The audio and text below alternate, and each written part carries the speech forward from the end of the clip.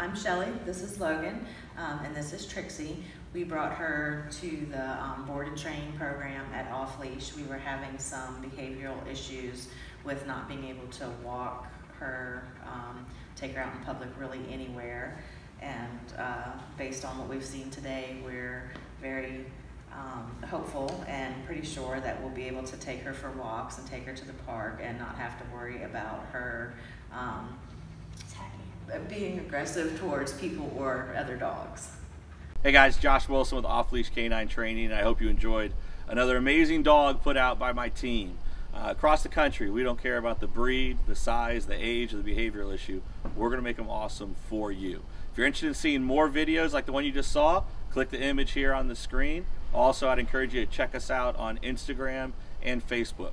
And before you leave our channel, make sure you subscribe.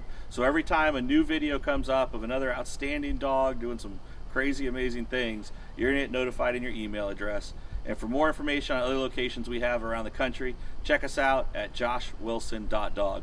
Appreciate you so much for watching our channel. See you soon.